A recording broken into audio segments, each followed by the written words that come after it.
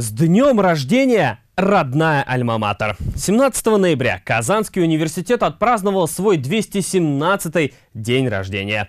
Один из старейших классических университетов России. Известен и своими научными школами, и знаменитыми выпускниками.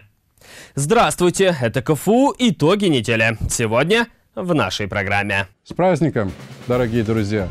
С наилучшими пожеланиями. Главное в поздравлении ректора университета Ильшата Гафурова. Люди должны знать и о здоровье, и о биологии практически все. Спасение всего живого в их руках. Какие задачи стоят перед будущими медиками и биологами? Один из напечатанных вариантов э, штуцера. Все дело в детали. Как студенты инженерного института помогают в борьбе с ковидом. На нашей базе впервые в Российской Федерации будет проведен очередной, уже 21-й Международный конгресс лингвистов. Языковое разнообразие в глобальном мире. Какие вызовы стоят перед современной лингвистикой? Казанский университет за свою более чем двухвековую историю прошел сложный и насыщенный путь многочисленных преобразований, став сегодня, благодаря непрерывной и усердной работе всего коллектива, одним из признанных центров образования и науки в стране и в мире. Это отметил в своем поздравлении ректор Казанского федерального университета Ильшат Гафуров. Он обратился ко всем сотрудникам вуза. Профессорско-преподавательскому составу, студентам, выпускникам и к тем, кто связан с родной альма-матер теми невидимыми кровными узами, даже будучи далеко от Казани и Татарстана.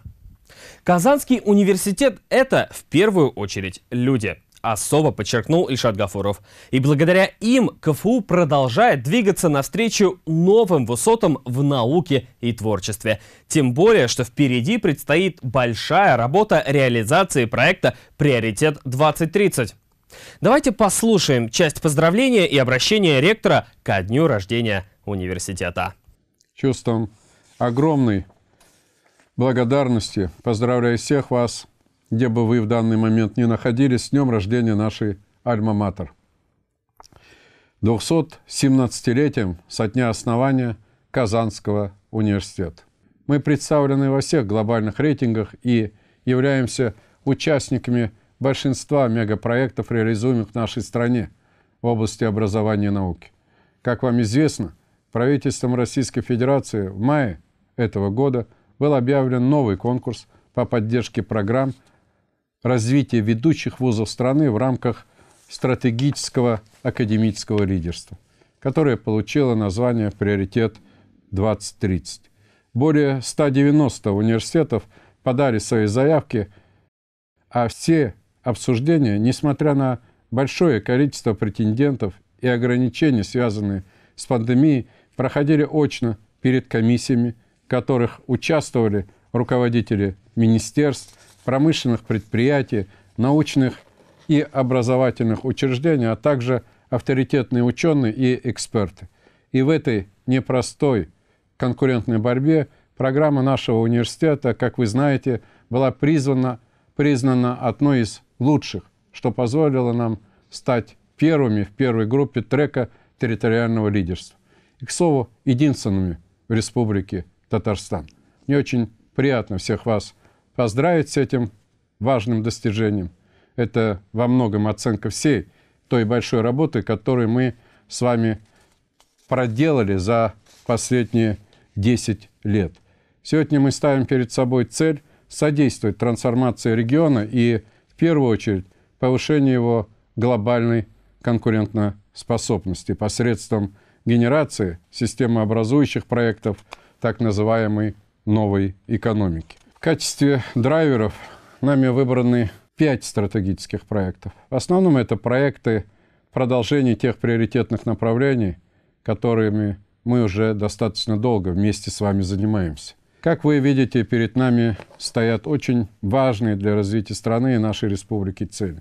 Не могу обойтись и без слов благодарности всему профессорско-преподавательскому составу, всем директорам и заместителям директоров наших институтов, всем моим коллегам и сотрудникам Казанского федерального университета за ваш труд, огромную плодотворную работу, вашу любовь к студенчеству, науке, родному университету.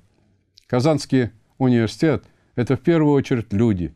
Именно благодаря деятельным, творческим, знающим и горячим своим делом людям мы продолжаем двигаться навстречу новым высотам в науке, в творчестве, в спорте и многих других сферах нашей многогранной деятельности. С праздником, дорогие друзья!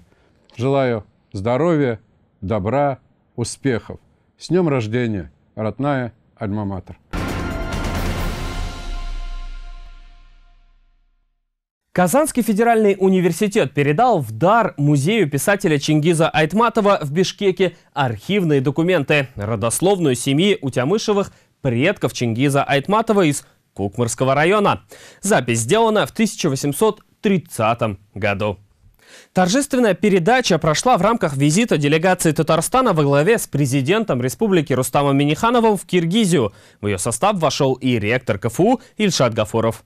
В рамках рабочей поездки Рустам Миниханов посетил и Центр развития образования КФУ в Кыргызской республике. Он создан совместно с Салымбеков университетом. Работа центра направлена на развитие сотрудничества между КФУ и научно-образовательными организациями Киргизии.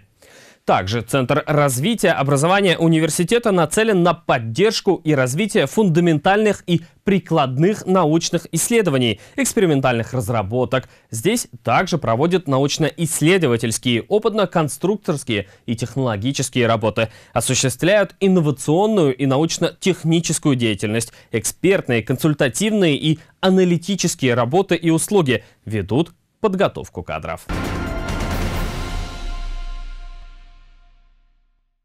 При создании университета в 1804 году одна из первых кафедр была кафедра анатомии, физиологии и судебной врачебной науки.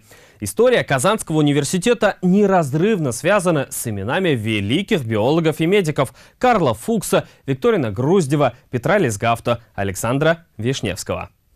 В 1930 году медицинский факультет был отделен от университета для того, чтобы в Казани был создан свой медицинский вуз.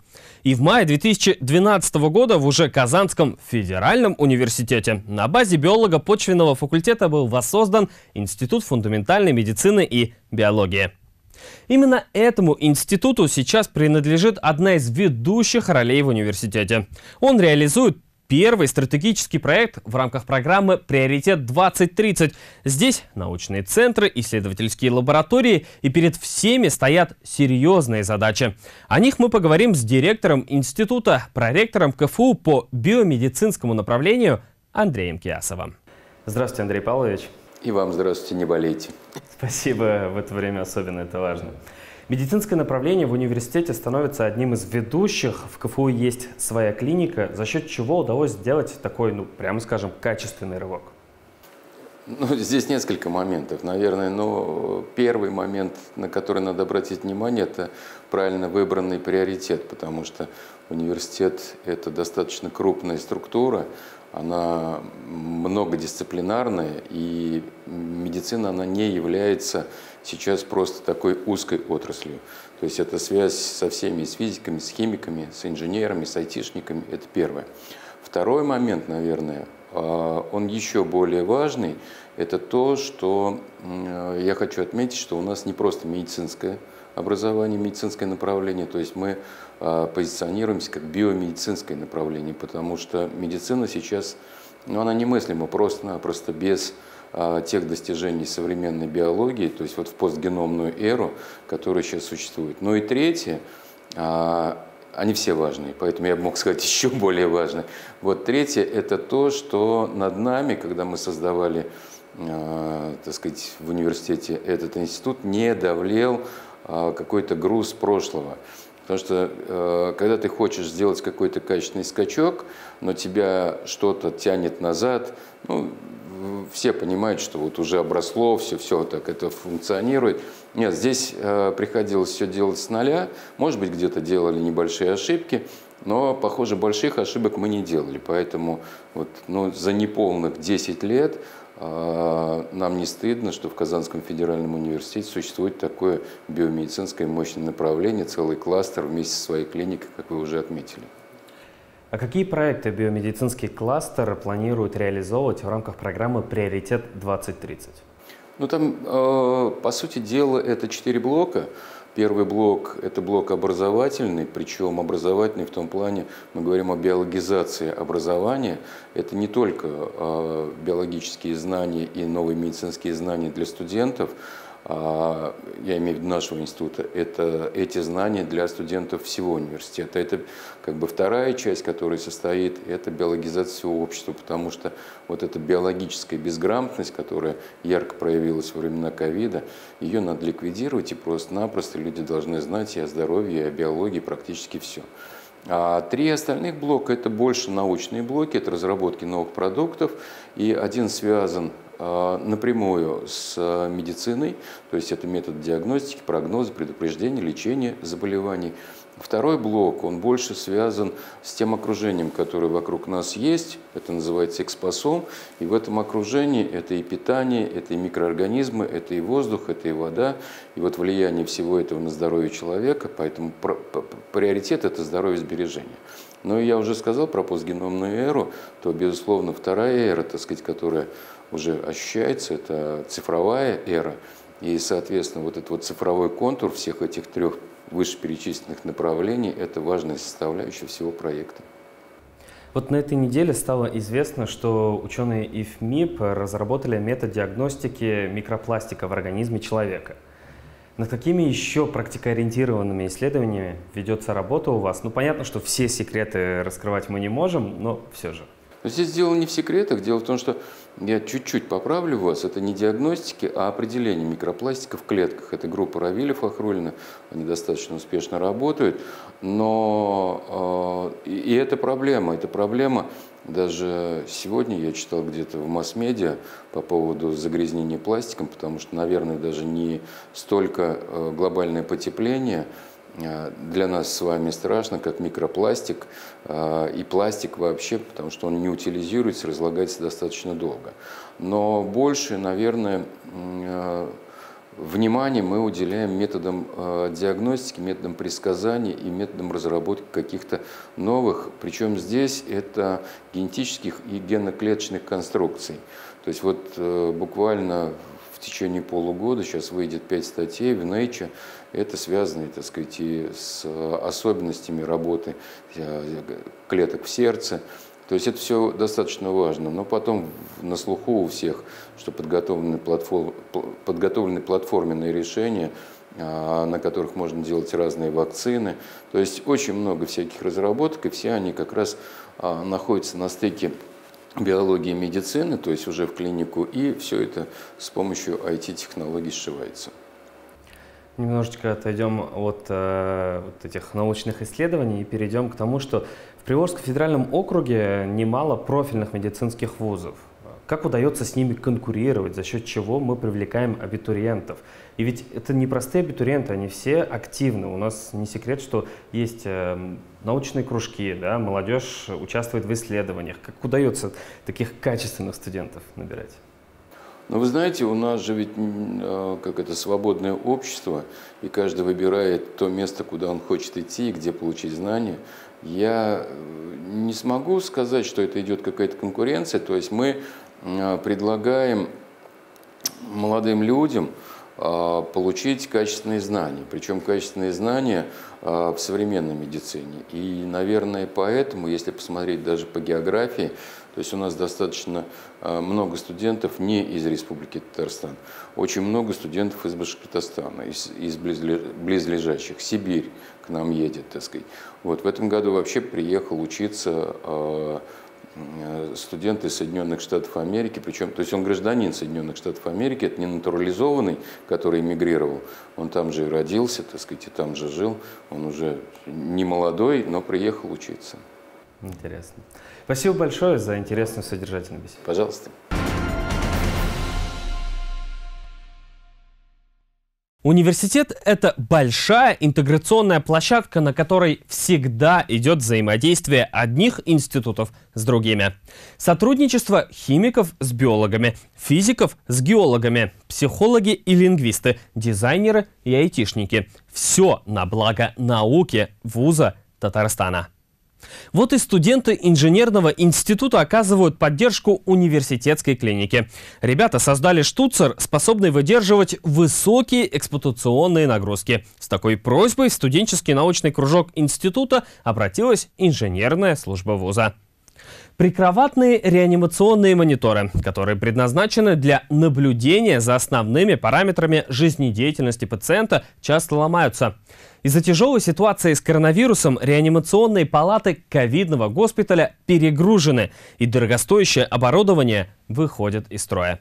Оказалось, что все дело в одной детали, но очень важной. Подробнее об этом расскажет Луиза Сагитова последней волне новой коронавирусной инфекции удельный вес пациентов с тяжелым течением заболевания, требующий интенсивной терапии, реанимационных коек и оборудования. Так считает первый заместитель главного врача по медчасти университетской клиники КФУ. Сейчас в ковидном госпитале униклиники 80 койко-мест, еще 12 в палате интенсивной терапии и реанимации. Свободных мест нет. Работа ведется непрерывно, 24 часа в сутки, 7 дней в неделю. Все 12 реанимационных коек работают непрерывно. Это требует постоянного технического обслуживания, помимо плановой проверки оборудования. Созданные мощности клиники и совместная работа с сотрудниками инженерного института КФУ позволяют обеспечить бесперебойную круглосуточную работу реанимационного оборудования как в основных корпусах клиники, так и в ковид-госпитале. Помимо ремонта, инженеры КФУ анализируют и систематизируют заявки униклиники. Это помогает обнаружить слабые стороны медицинского оборудования и предотвратить предотвратить трагические случаи. Одной из таких слабостей оказались штуцеры, соединяющие прикроватные мониторы и манжеты для измерения артериального давления. Допустим, пациент был, находился в реанимации, да, в бессознательном состоянии был, он может дернуться, там, э, как себя неправильно повести, и монитор испытывает как бы чрезмерную нагрузку. Это, в свою очередь, приводит, это частая нагрузка циклическая, она приводит к тому, что этот штуцер может выйти из строя. А при поломке обычно меняют полностью всю манжету. А манжета стоит около 2000 рублей. Допустим, один из напечатанных вариантов э, штуцера, э, который полностью повторяет э, оригинальную модель, Прочнее, пластичнее, надежнее. По механическим характеристикам аналог заводского штуцера, разработанный магистрами Института инженерии КФУ, в два раза лучше оригинала. Сделан он из нейлона с применением технологии припекания лазером. Нейлон э, сам по себе очень прочный материал, э, имеет высокую прочность на разрыв и прочность на растрескивание. То есть данный материал а под нагрузкой не треснет, не вытянется и не сломается. Даже сама, сама технология SLS, грубо говоря, она делает материал прочнее. Ну, сама технология печати а, делает материал прочнее. На создание прототипа ушла неделя. Сначала была создана компьютерная копия, потом перенесли на печать. Задача была не только улучшить технические характеристики, но и зафиксировать штуцер в разъеме намертво. Он должен входить легко, но и закрепляться плотно. Вот как мы видим, оно легко вошло, э, плотно село, не шатается и э, из своего гнезда не уваливается. Сейчас руководство Института инженерии КФУ ведет переговоры с производителем прикроватных мониторов о применении нейлоновых штуцеров. При радужном стечении обстоятельств обновленное оборудование поступит в производство в первой половине 2022 года. А пока в униклинику передана первая партия из 20 новых деталей. За их эксплуатацией следят инженеры института. Э, мы видим реальные проблемы, которые возникают с медоборудованием, с медтехникой. И на основании этих проблем мы можем строить свою концепцию, как сделать новое оборудование. Благодаря Ильшату Равкатовичу вот была создана такая инфраструктура, то, что э, есть университетская клиника, есть инженерный институт, который обучает инженеров по медтехнике. И получается, такого еще в России нигде нет, чтобы инженеры именно при университете прям проходили в реальных условиях это обучение. Создание нейлонового штуцера – вклад студентов КФУ в борьбу с коронавирусной инфекцией. Следующий шаг – аналог воздушно-клапанной системы для ИВЛ. В условиях, когда оборудование и люди в медучреждениях работают на износ, эти разработки спасают как минимум бюджет, а в лучшем случае и человеческие жизни. Инженеры сейчас как тыловики, работают и создают для фронта и для победы над незримым врагом. Луиза Сагитова, Александр Кузнецов, КФУ. Итоги недели. В Узбекистане будет создан филиал Казанского федерального университета. Филиал КФУ появится в узбекском городе Джизак. Соответствующий приказ подписал министр науки и высшего образования России Валерий Фальков.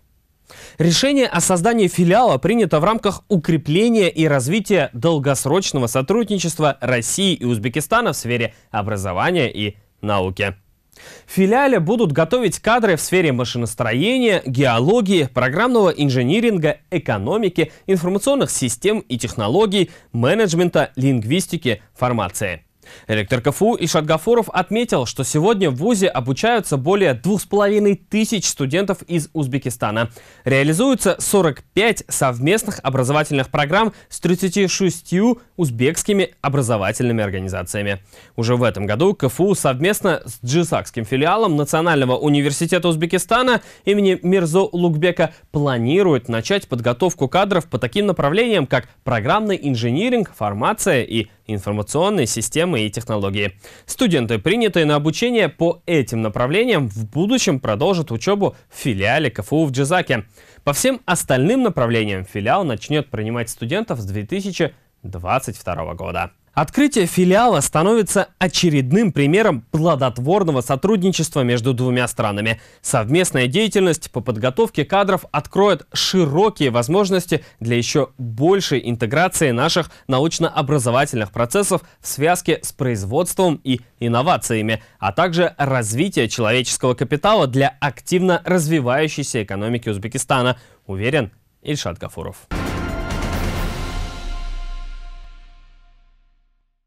Что представляет собой антифейсбук. Об этом, а также как казанские студенты становятся спасателями в зонах чрезвычайной ситуации. Смотрите далее. Также во второй части программы. На нашей базе впервые в Российской Федерации будет проведен очередной, уже 21 Международный конгресс лингвистов. Языковое разнообразие в глобальном мире. Какие вызовы стоят перед современной лингвистикой? Перед нами уже документ об открытии Казанского университета. Два столетия, как одна история. С чего начинался Казанский университет? Студентка первого курса Института дизайна и пространственных искусств КФУ Анастасия Иванцова вошла в состав национальной сборной России в WorldSkills. Свое право она завоевала в финале национального чемпионата, получив серебряную медаль в компетенции «Ювелирное дело». Она сможет принять участие в чемпионате мира по профмастерству, который в следующем году пройдет в Шанхае, если пройдет отбор на тренировочных сборах в Москве. А десятиклассник IT-лицея победил в большой перемене. Это масштабный конкурс для школьников, в котором оцениваются не только качественная проработка проекта, но и работа в команде над решением кейса. Подростку пришлось решать проекты в области космостроения, экологии, искусства. В качестве подарка Даниил получил 200 тысяч рублей. От Татарстана победителями большой перемены стали 10 человек. В общей сложности молодые люди выиграли 6 миллионов рублей. О других новостях из жизни университета и республики в нашем дайджесте. Казанский федеральный университет и Минтруд Киргизской республики подписали меморандум о сотрудничестве. Соглашение заключили ректор Ильшат Гафуров и министр Кудайберген Базарбаев. В рамках него будут установлены партнерские отношения и будет развиваться сотрудничество в сфере обучения трудовых мигрантов и дальнейшего содействия в их трудоустройстве. Также оно предполагает реализацию других инициатив и мероприятий для эффективного эффективного взаимодействия. На этой неделе в России впервые отметили День преподавателя высшей школы. С праздничной датой коллектив Казанского университета поздравил ректор Ильшат Гафуров. Он отметил, что преподаватели вузов сегодня закладывают фундамент для экономического процветания на многие поколения вперед. Они горят наукой сами и пробуждают интерес к исследованиям у своих студентов, открывая для них целый спектр возможностей для самореализации. На этой неделе в КФУ прошел Международный лингвистический саммит «Языковое разнообразие в глобальном мире». Его открыл Ильшат Гафуров. Ректор университета выразил уверенность, что саммит позволит более четко и глубоко осознать вызовы и тренды современной лингвистики, потому что он объединил ученых-исследователей из разных стран мира. В июне прошлого года комитет принял очень важное для нас решение о том, что в 2023 году Казанским федеральным университетом и Институтом языкознания Российской академии наук на нашей базе впервые в Российской Федерации будет проведен очередной, уже 21-й Международный конгресс лингвистов. Естественный иммунитет и COVID-19. Мифы и реальность. На такую тему в КФУ состоялась лекция доцента кафедры биохимии, биотехнологии и фармакологии ИФМИП Альфии Фаттаховой. Ученый рассказала студентам о том, что естественный способ победить COVID-19 – это вакцинация населения, и что сообщения о якобы чипировании и побочных эффектах – это мифы. И возвращаясь к первой теме выпуска. 217-й день рождения в КФУ отметили праздничным концертом. Поздравить университет на торжество приехали министр по делам молодежи республики, представитель республиканского Минобра и председатель комитета по делам молодежи исполкома Казани. На сцену в этот день вышли не только студенты институтов и филиалов КФУ, но и других университетов. В завершении учащиеся подарили руководству университета и директорам праздничный торт. Три четыре. С днем рождения, КФУ! Ну что ж, дорогие друзья, мы поздравляем с днем рождения Казанский федеральный университет! В США начали следствие о методах вовлечения детей в Инстаграм. Задача выяснить, не подвергла ли компания Мета, бывшая Facebook, общество риску своими действиями. Законность способов по привлечению детей и молодых людей в соцсеть расследуют генпрокуроры ряда американских штатов. Социальные сети чрезвычайно опасны и причиняют как физический, так и психический вред молодым людям, заявила в частности генпрокурор штата Нью-Йорк Летиция Джеймс. Она отметила, что растет риск развития депрессии, расстройств пищевого поведения и даже самоубийств. А между тем в Америке приобретает популярность новая соцсеть MeWe. Ее называют анти-фейсбуком. В ней нет рекламы, она не собирает личные данные пользователей и не использует алгоритмы для сортировки постов. По крайней мере, так заявляют ее создатели. Сейчас в ней зарегистрированы почти 20 миллионов человек. Больше половины пользователи, проживающие за пределами Северной Америки. Основная из них – молодежь из Гонконга. Многие из них отказались от WhatsApp и Facebook, потому что боялись, что соцсети сливают китайским властям данные. О том, что было наиболее интересным на этой неделе российским пользователям, расскажет мой коллега Леонид Толчинский.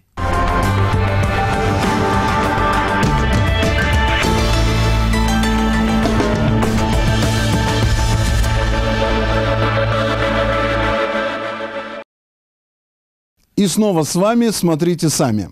Продолжая тему попыток создать некие уникальные новые социальные сети типа Миви, надо отметить, что это не первые такие попытки, да и наверняка не последние.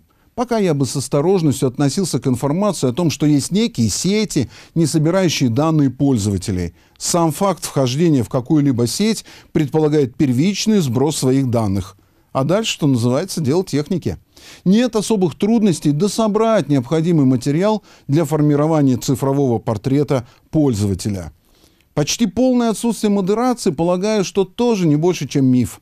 Такое, если возможно, то только на первых этапах жизни любого медиапродукта, который в обязательном порядке дальше начинает обрастать своими правилами и ограничениями. Ну и цифра в 20 миллионов пользователей пока не сильно впечатляет, ибо для соцсетей реально зачетные цифры начинаются от 100 миллионов. Поэтому не станем сейчас углубляться в эту историю. Тем более, что календарь подсказывает нам важность вспомнить о других исторических вехах. 19 ноября отныне очень значимый день для высшей школы страны. Ну, начнем с того, что таковым он был уже давно. Просто наше, приученное к исключительно документарно оформленным праздникам сознания, не утруждало себя зачастую особыми мыслями о величии 19 ноября в истории.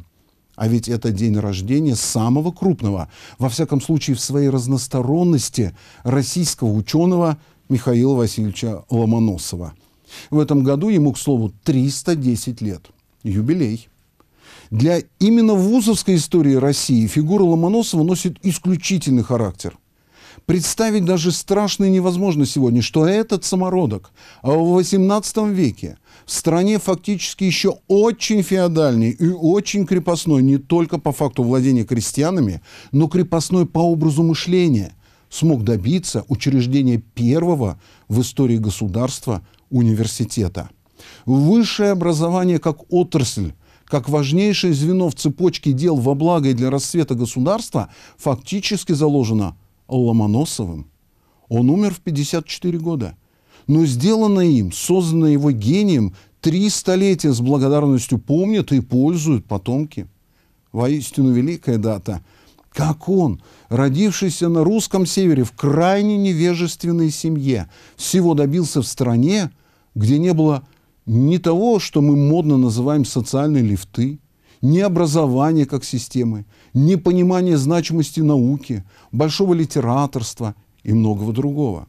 Как он смог, будучи человеком весьма лояльным властям, переломить их предрассудки, в которые они свято верили по поводу массы вопросов, мешавших какому-либо подъему отечественных знаний и просвещения – его пример для нас – это пример великого критического мышления, данного гению в совершенно нетерпимой критике во всех проявлениях среде.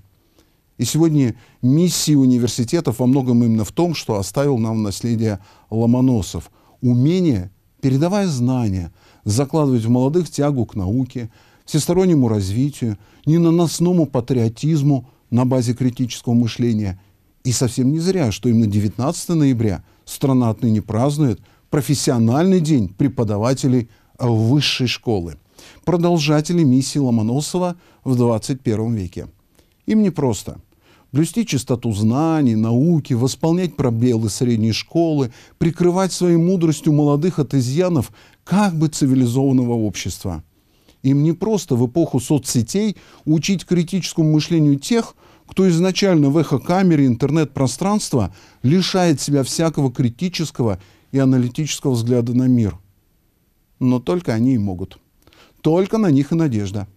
А потому с праздником всех, кто посвятил всю или часть своей жизни высшей школе и делам, завещанным нам Михаилом Ломоносовым. Всем доброго.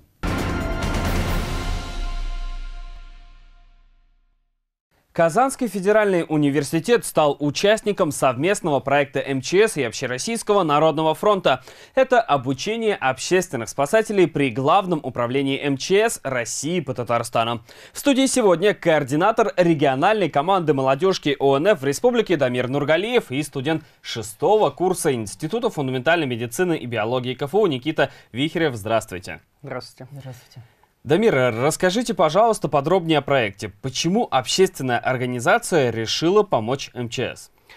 А, в первую очередь хочется начать с того, что добровольчество как Республики Татарстан, так и Российской Федерации в целом начало вырастать все-таки более профессионально. Те добровольцы, волонтеры, которые до этого отпускали шарики в небо, а, как-то переделались в настоящих специалистов, исходя из своего высшего или среднего образования, начали оказывать в удаленных участках как Республики Татарстан, так и Российской Федерации в целом адресную помощь. А все мы начали с элементарного, это оказание адресной физической помощи, мы помогали восстанавливать дома после подтопления или после пожаров, а после чего мы поняли, что те знания, которые мы получаем на парах, мы начали оказывать адресную юридическую помощь, психологическую и, конечно же, медицинскую. До этого те знания, которые мы получили, мы смогли уже использовать как в республике Крым, Иркутская область, Саха-Якутия и многие другие командировки. На мой взгляд, добровольцы просто хотят помогать, потому что волонтер или доброволец — это уникальный человек, который все-таки меняется, исходя из тех событий, которые его окружают. Мы поняли, что здесь мы можем помочь,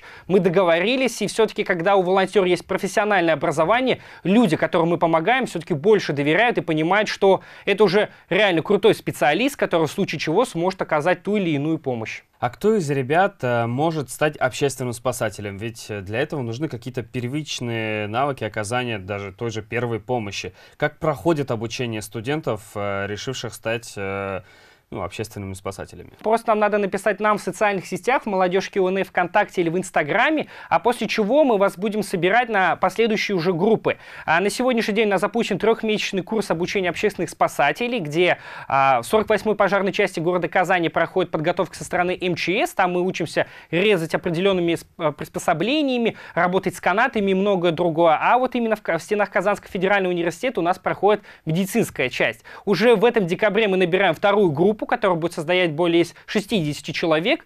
Просто главное желание, а в зависимости, когда мы уже будем выезжать в командировку в одну или другую, мы уже будем понимать, по какой именно области вы наиболее сильны. Исходя из этого, мы уже будем набирать команду. Никита, вы уже были гостем нашей программы, и как раз мы с вами говорили на тему вашей работы волонтером. Вы рассказывали нам о вашей командировке в зону наводнения Ялту, а, в зоне лесных пожаров Якутии, и также вы приняли участие в очистке территории Таймыра, если я правильно помню. Э, каковы ваши планы на будущее? Ну, сейчас, на сегодняшний день, э, волонтерский штаб по борьбе с коронавирусом снова возобновил работу, и это самая актуальная сейчас э, наша деятельность. Но в ближайшей командировке мы будем ждать вызова и всегда готовы выехать в любой момент. А вы еще староста научно-практического кружка по хирургии в вашем институте. Как участие в кружке помогает вам в волонтерской деятельности, ну или, может быть, наоборот? Да, скорее наоборот, э, потому что, будучи участником э, молодежки УНФ в Татарстане, э, я увидел, как работает настоящая команда, как распределяются роли, как все взаимодействуют. И именно это мне помогает, будучи на посту староста кружка, так скажем, управлять всей этой деятельностью и качественно выполнять работу. Дамир, а какое количество волонтеров-спасателей сейчас э, в рядах молодежки ОНФ, где побывали и чем помогли татарстанские ребята уже, и какие вообще направления помощи могут оказать общественные спасатели? Все началось в 2018 году. Мы тогда впервые поехали в зону ЧС. Это была Иркутская область. Тогда мы помогали ликвидировать последствия наводнения, после чего мы оказывали адресную юридическую помощь. Те документы, которые, к сожалению, потонули, мы пытались их восстановить и помогать местному населению по оказанию и получению дальнейшего уже жилья. На сегодняшний день у нас более 120 волонтеров. Это, те, это половина из тех ребят, которые уже поучаствовали в зону ЧС, и те ребята, которых на сегодняшний день мы готовим. А, за спиной ребят уже это Иркутская область, это наводнение, это республика Саха-Якутия. Буквально недавно ребята оттуда вернулись, мы помогали ликвидировать последствия летнего пожара. После чего это республика Крым и, конечно же, это удаленные командировки в рамках всероссийского проекта «Чистая Арктика». А, я сам вместе с ребятами был в Норильске, а ребята были в Ямало-Ненецком автономном округе. Там мы а, ликвидировали залежи металла, железа после СССР. А есть ли примеры, когда вот э, общественные спасатели, затем уже попробовав себя в качестве волонтеров, идут на работу, например, в тот же МЧС? Очень, э, есть очень хороший живой пример. У нас сейчас есть три парни, которые на сегодняшний день учатся по специальности юриспруденция, и буквально недавно они подошли к заместителю начальника 48-й пожарной части и спросили, а можно ли подготовиться, потому что до этого они не знали, что есть такая уникальная возможность, что любой желающий после того, как если парень служил в армии, может прийти и попробовать себя в рядах бравых э, МЧС России по Республике Татарстан, они договорились, что со следующего года, сентября, у них начнется вся такая большая работа для того, чтобы они в дальнейшем туда трудоустроились. Потому что те эмоции, те картины, которые ребята видят, когда они работают в зоне ЧС, все-таки это дорогого стоит, потому что мы прекрасно понимаем, что это не по телевизору, не на диване смотреть, сидеть, это все-таки вот своими руками, ногами помогать. Никита, говоря об эмоциях, да, а вот не пугает, допустим, вы едете в зону ЧС, на данный момент? Какие эмоции в этот момент испытываете? И, э, или наоборот, это потребность в адреналине каком-то? А, когда нас э, вызывают в зону ЧС, мы морально настраиваемся, и скорее мы готовы к работе, мы отпускаем все страхи и так далее. Э, мы стараемся качественно помочь выполнить работу, а все эмоции, они только мешают работе. Поэтому это порой бывает даже трудно, но мы стараемся справляться. Большое вам спасибо за интересную содержательную беседу и главной удачи. Спасибо. Спасибо.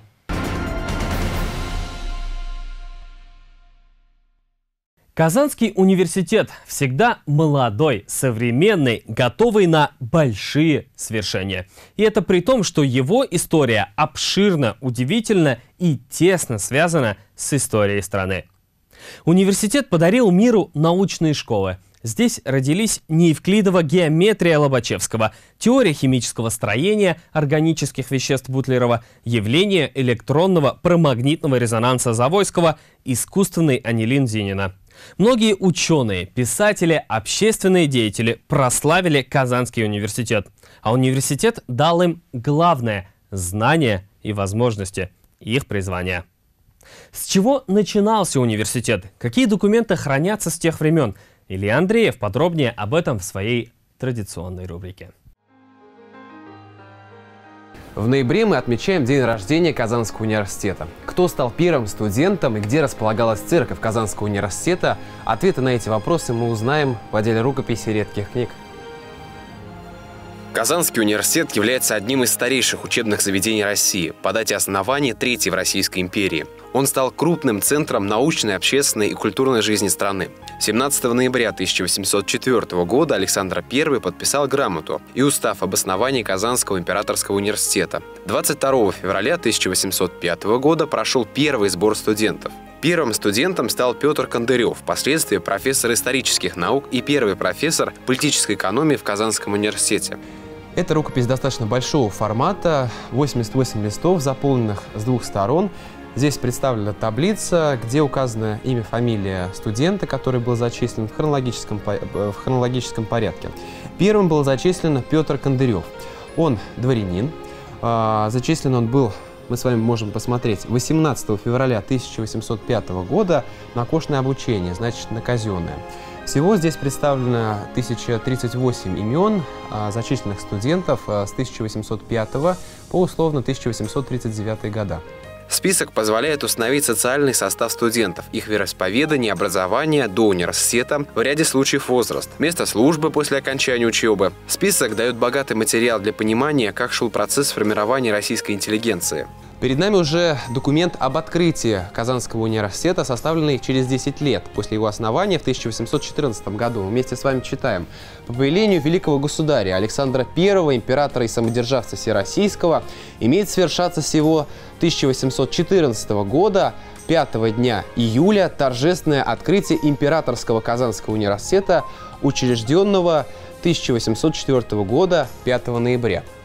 5 июля 1814 года состоялся городской праздник по случаю официального открытия университета. В это время в университете было четыре отделения – нравственных и политических наук, физических и математических, врачебных и медицинских, словесных наук. Первые выборы ректора, деканов и членов училищного комитета состоялись в январе 1811 года. Ректором был избран австрийский ученый, профессор анатомии, физиологии и судебной медицины Иван Осипович Браун. Находясь с вами в отделе рукописи редких книг, мы не можем не обратиться к четырехтомной работе Николая Павловича Загоскина об истории Казанского университета императорского за первые сто лет существования. Вот это презентационное издание. Выходит оно в 1902 году в Казани. Когда мы начинаем с вами читать, в одном из томов он рассказывает о создании университетской библиотеки. Некогда императрица Екатерина II поручает создать в Казани университет. Поручает она создавать план князю Потемкину. Приобретаются книги, приглашаются профессора. И нужно сказать, что первые книги, которые вошли в фонд, вот они, те самые книги. Эти книги были из собственной библиотеки князя Потемкина, и он их передает в фонду библиотеки.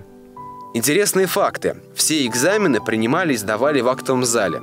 До 1850-х годов проводились только лекции. Учебный год начинался 1 августа и завершался 30 июня. В университете существовало две библиотеки – профессорская и студенческая. В 1832 году она стала публичной. Была доступна с 8 часов утра до 2 пополудни, кроме суббот, воскресений и праздников. Первыми студентами стали 33 молодых человека от 20 до 30 лет.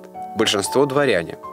Мы с вами открываем один из томов истории Императорского Казанского университета. Здесь обращаемся к, к истории университетских построек. Обратите внимание, да, вот главный корпус, здесь изображена церковь не все знают, но в светском учреждении некогда располагалась церковь. Мы с вами открываем дальше, и на изображении указана домовая церковь Казанского университета, которая была освящена в 1825 году.